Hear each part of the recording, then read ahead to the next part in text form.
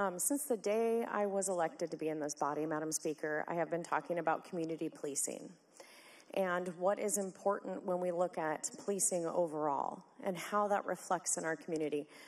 Um, I've said since the day, hey, there's something wrong when our per capita of law enforcement officers are as low as they are. Um, there's something wrong with the connection between the community and the officers. And then we've noticed um, recently with the passage of these policies and the one that we're talking about fixing here today is that that per capita rate has even decreased. We've lost more law enforcement officers. Um, we've ha- heard a lot of statistics tonight on the House floor, um, but what really needs to be said is that violent crime is at an all time high. Auto thefts are at 93% more this year.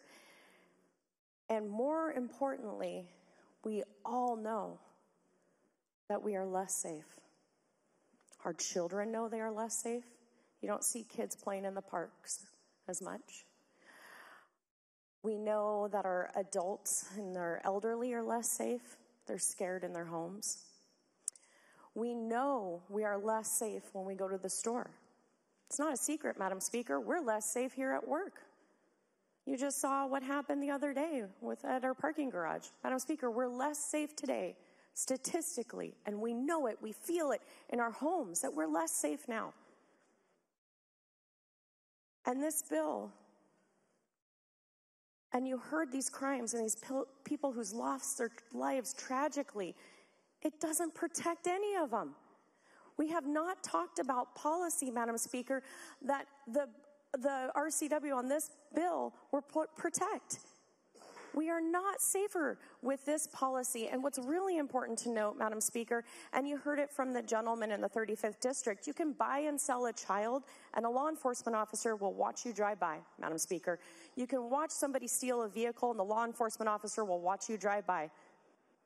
There are violent crimes, including violent crimes with a, with a firearm, Madam Speaker. You can buy, sell, loan, transport, possession of incendiary devices, property, uh, uh, weapons, guns, and you cannot stop them, Madam Speaker. You cannot.